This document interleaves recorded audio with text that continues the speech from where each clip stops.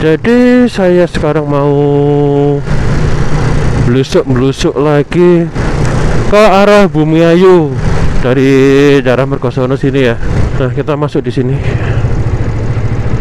Di Mergosono Kono Sugiono Gang 5 atau yang banyak dikenalnya itu ya Mergosono Gang 5 oke kita belok ke sini. Oke jalannya segini aja ya jalannya ya. Jalannya lumayan